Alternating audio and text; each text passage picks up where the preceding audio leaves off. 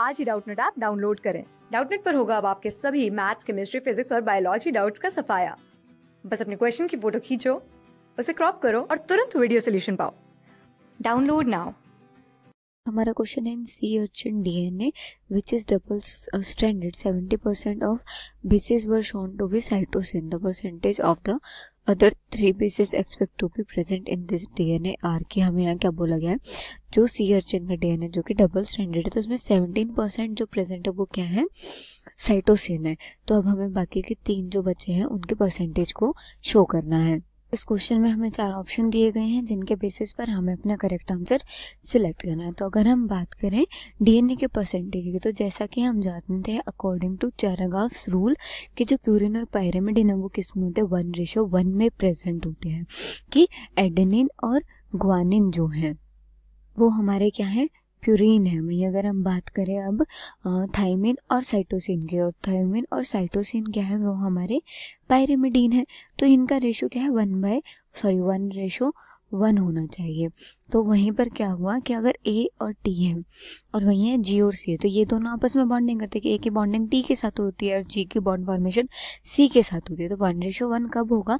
जब ए का नंबर और ए की परसेंटेज किसके इक्वल होगी? टी के इक्वल की A is is equal to T G is is equal to C तो वहाँ पर क्या आएगा? हमारा वन रेशो वन तो यही हमें क्या दिया गया? साइटोसिन की परसेंटेज कितनी है? सेवनटीन परसेंट तो अगर हमारा साइटोसिन सेवनटीन परसेंट है तो हमारा जो ग्वानिन है, वो भी कितना होगा? सेवनटीन परसेंट होगा. तो अगर हम देखें हमारे ऑप्शन तो ऑप्शन ए और बी में से हमारा कोई ये करेक्ट हो सकता है, वहीं ऑप्शन सी और डी दोनों ही क्या है रॉन्ग है, क्योंकि दोनों में क्या है ग्वानिन जो वो 8.5 पर 34 दिया गया है और ग्वानिन जो वो साइटोसिन के इक्वल होना चाहिए तो ऑप्शन सी और डी हमारे रॉन्ग है।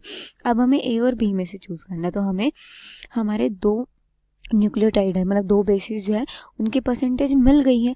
वहीं अगर हम बात करें अब एडेनिन और थाइमिन की तो अगर हमारे ग्वानिन और साइटोसिन की परसेंटेज इक्वल है तो एडेनिन और थाइमिन की भी परसेंटेज इक्वल होगी अकॉर्डिंग टू चार का रूल के वन रेशो वन होना चाहिए। तो वहीं से अगर हम देखें हमारे ऑप्शन को तो ऑप्शन ए जो है, उसमें क्या है? एडेनिन सिक्सटीन पॉइंट फाइव है और thymine thirty two point five है। तो ये हमारा रॉन्ग है, उनके इक्वल होने चाहिए। तो बी में क्या दिया गया adenine thirty three and thymine thirty three तो ये क्या है?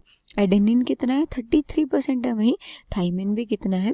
थर्टी थ्री परसेंट है। तो वहीं अगर हम टोटल देखें तो ओवरऑल हमारे पास कितना है? डीएनए सी अर्चिन का डबल स्टैंडर्ड वो है फिफ्टी परसेंट तो 50 परसेंट हमारे न्यूक्लियोटाइड बेसिस है, जिसमें से 17 ग्वानिन है 17 साइटोसिन है 33 एडेनिन है 33 जो है वो थाइमिन है। तो यहीं से हमें हमारा करेक्ट आंसर मिलता है, जो कि option B G 17 percent A 33 percent and T 33 percent class six से ट्वेल्थ से लेके NEET I I T JEE mains और एडवांस के लेवल तक।